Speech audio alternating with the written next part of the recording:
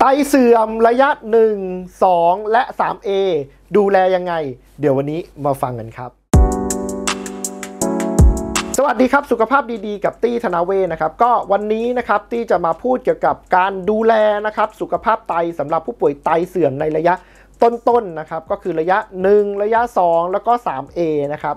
อันดับแรกนะครับสิ่งที่ผู้ป่วยไตในระยะต้นๆเนี่ยต้องทำความเข้าใจก่อนนะครับ ก็คือระยะของไตครับไตนะครับแบ่งเป็นทั้งหมด 5 ระยะนะครับก็คืออันดับแรกก็คือระยะที่1นะครับค่า eGFR หรือ GFR เนี่ยอยู่ที่ประมาณนะครับ90%ขึ้นไปนะครับแต่ว่ามีอาการโปรตีนรั่วนะครับหรือว่าปัสสาวะเป็นฟองร่วมด้วยนะครับก็ถือว่าเริ่มไตเสื่อมแล้วนะครับ ระยะถัดไปนะครับก็คือระยะที่2นะครับก็คือจะมีค่าไตนะครับอยู่ที่ประมาณ 89%นะครับจนถึง 60%นะครับก็ถือว่าเป็นระยะที่ 2 ถัดไปนะครับระยะที่3นะครับเราจะแบ่งออกเป็น 2 อย่างนะครับก็คือจะเป็นระยะ 3A กับระยะ 3B ซึ่งถ้าเป็นระยะ 3A นะครับก็คือค่าไตจะอยู่ที่ 59%นะครับจนถึง 45%ส่วนระยะ 3B นะครับ ค่าไตจะอยู่ที่ 44%นะครับจนถึง 30%นะครับถัดไปนะครับก็คือระยะที่ 4 นะครับ ค่าไตก็จะอยู่ที่ 29%นะครับจนถึง 15%นะครับสุดท้ายแล้วนะครับก็คือระยะที่ 5 นะครับก็คือ ค่าไตก็จะอยู่ที่ต่ำกว่า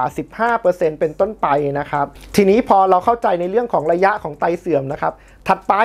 อีกเรื่องที่เราต้องเข้าใจนะครับก็คือเรื่องที่2นะครับก็คือในเรื่องของการคุมอาหารครับอย่างที่เราทราบกันดีนะครับว่าผู้ป่วยไตเสื่อมเนี่ยก็ควรที่จะคุมในเรื่องของโซเดียมโพแทสเซียม แล้วก็ฟอสฟอรัสด้วยนะครับในกรณีของผู้ป่วยไตในระยะต้นๆนนะครับตีก็จะแนะนำว่าการคุมอาจจะไม่เข้มงวดมากนะครับแต่ว่าเราก็ต้องคุมนะครับเท่าที่คุมได้ก็คือ 1. คุุมในเรื่องของอาหารรสจัดนะครับไม่ว่าจะเป็นเค็มนะครับโซเดียมแน่นอนเลย หวานนะครับก็น้ำตาล เปรี้ยวอาหารหมักดองเผ็ดนะครับก็จะส่งผลในเรื่องของการระคายเคืองได้นะครับเพราะฉะนั้นอาหารรสจัดก็หลีกเลี่ยงไปได้เลยนะครับ 3นะครับก็คือในเรื่องของการดื่มน้ำการคุมน้ำนะครับในกรณีของผู้ป่วยไตในระยะต้นๆนนะครับก็สามารถรับประทานน้ำได้ตามปกติเลย ก็จะอยู่ที่ประมาณ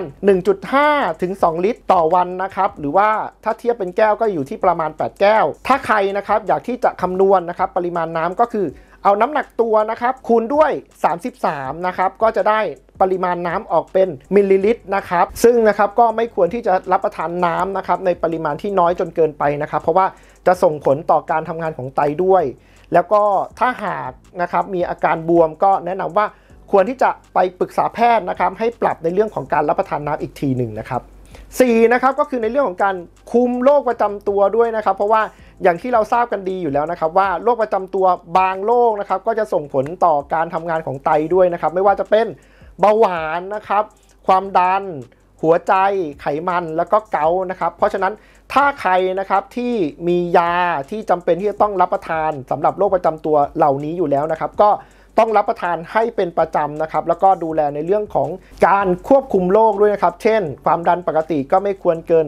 120ทับ80 นะครับ ตัวเบาหวานเนี่ย ค่าน้ำตาลก็ไม่ควรที่จะเกิน limit นะครับ แม้กระทั่งค่าเกาต์ค่ายูริก ค่าไขมันด้วยนะครับ ไปนะครับตัวสุดท้ายนะครับก็คือ 5 นะครับก็คือคุมในเรื่องของการออกกำลังกายด้วยนะครับ ในกรณีของผู้ป่วยไตนะครับ เราทราบกันดีอยู่แล้วว่าการออกกำลังกายมากจนเกินไป หรือว่าการทำงานหนักเนี่ยมันจะส่งผลทำให้ไตทำงานหนักด้วยนะครับ เพราะฉะนั้นในกรณีของผู้ป่วยไตระยะต้นๆเนี่ยก็อาจจะต้องกลับมาดูด้วยนะครับว่า เรามีกิจกรรมหรือว่ามีการทำงานหนักเกินไปหรือเปล่านะครับ เพราะว่า ทุกครั้งที่เรามีการใช้พลังงานหรือเผาผลาญพลังงานเนี่ยมันก็จะส่งผลทำให้เกิดค่าของเสียเพิ่มมากขึ้นด้วยนะครับในเรื่องของการออกกำลังกายที่แนะนำนะครับก็คืออาจจะเป็นในเรื่องของการออกกำลังกายเบาๆ เน้นในเรื่องของการยืดเหยียดกล้ามเนื้อนะครับแล้วก็ขยับร่างกายเป็นหลักนะครับ ไม่เน้นในเรื่องของการใช้แรงนะครับ เป็นยังไงบ้างครับ 5 วิธีการดูแลสำหรับผู้ป่วยไตในระยะต้นๆนนะครับ ก็